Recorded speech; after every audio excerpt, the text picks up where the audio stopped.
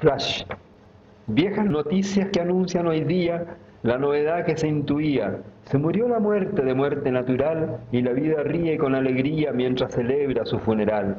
Se murió la muerte de infinita pena, tan arrepentida de tanta condena. Se murió de lenta y espesa agonía, de vejez congénita, de gangrena loca, de cáncer al hueso y melancolía que el antibiótico no respondía.